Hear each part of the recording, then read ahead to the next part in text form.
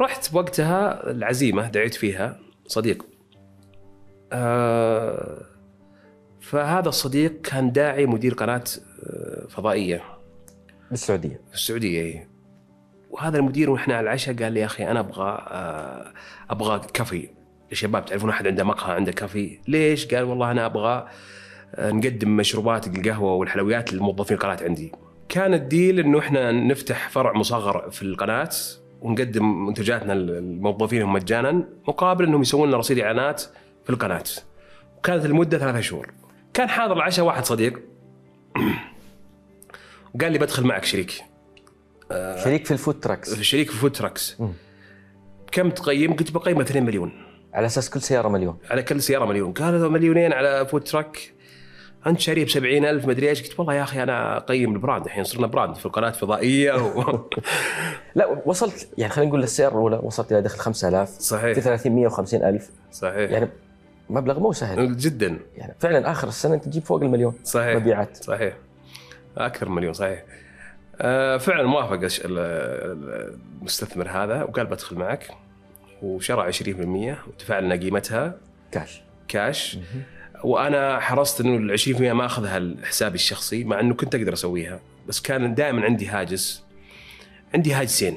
مشاريع دائما تموت بسبب ال- السيولة. السيولة هي الأكسجين. أي منشأة خصوصا الصغير. رأس مالك هو السيولة.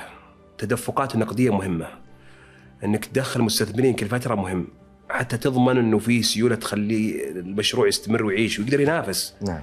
اليوم انت تنافس فيله فإذا ما صرت فيه لا مؤاخذة وطوك.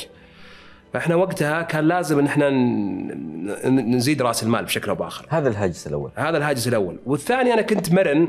اللي تعلمت من أخطائي اللي قبل إنه تصلب بالرأي وإنك تقول هذا مشروعي الحالي وماي بيبي ما ما يمشي هالكلام. في بيئة آه، متنافسية عالية والعرض أكثر من الطلب عرض سوق ال- ال- الكافيهات والقهوة أكثر من العرض ما أكثر من الطلب وبعدين أنت لا تنسى إحنا كنا وقتها نتعرض لمشاكل من الجيران إنه إزعاج الحارة وكذا وما يلامون صراحة يعني وقتها فعلا كنا نسبب إزعاج يعني. فالشاهد آه، وافقنا وخذنا الفرع الأول في طريق الملك فهد قدام نادي الشباب وافتتحنا الفرع الأول وكان الفرع نموذجي وصغير فكرته آه، زي ما يقولون grab and go خذ المنتج والحلا واطلع ما ما في ما في جلسات. أوكي.